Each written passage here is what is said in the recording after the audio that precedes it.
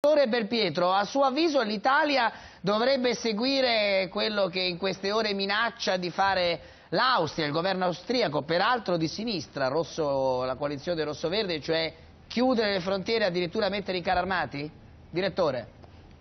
Posso, prima sentivo Luca Teresi che diceva eh, Lampedusa si aprono le porte dell'Europa. No, eh, qui siamo alla chiusura delle porte dell'Europa. Mi Regge tutto il peso dell'Europa, è vero. Mi permetto di correggere Luca che è un amico, un collega, un collaboratore eh, quindi lo conosco da tanti anni, ma eh, Lampedusa è l'esemplificazione del fallimento dell'Europa. Lampedusa è la dimostrazione che l'Europa non esiste.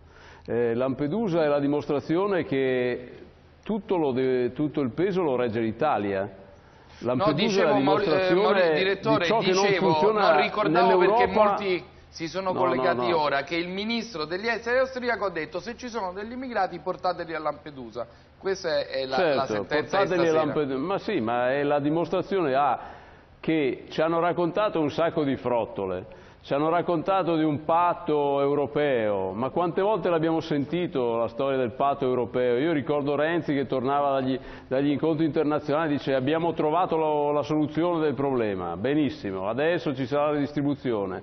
Ricordo quando il ministro Alfano annunciò finalmente ci saranno, tutti gli immigrati saranno redistribuiti, poi ce ne sono stati retribuiti se non sbaglio una settantina eh, 70 credo, vado a memoria. Sì, sì, 6.500 per la precisione. Sì, sì, certo. Eh, redistribuiti li voglio vedere. I dati ultimi erano poche decine, quindi no, poi no. ci possiamo inventare quello che vogliamo. Più di 3.000 in Germania? Sì, certo. Li abbiamo mandati tutti in Germania, quelli che sono scappati, certo.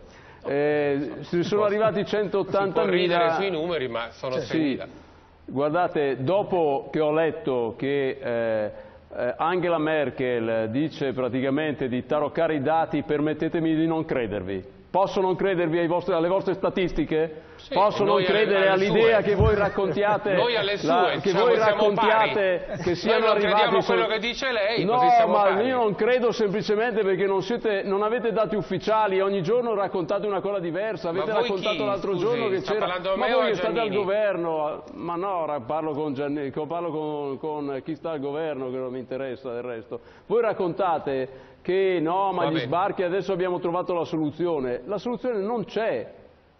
Non l'avete trovata, non l'avete cercata, avete raccontato un sacco di frottole. Questa And... è la realtà, molto semplice. Direttore, andiamo... Il problema... Sì, finisca, finisca, scusi. Ma... No, il problema è che hanno, da 4, 5, 6, 7 anni, perché poi riguarda tanti governi, non riguarda mica soltanto il governo che c'è attualmente, ci hanno detto che avrebbero trovato la soluzione.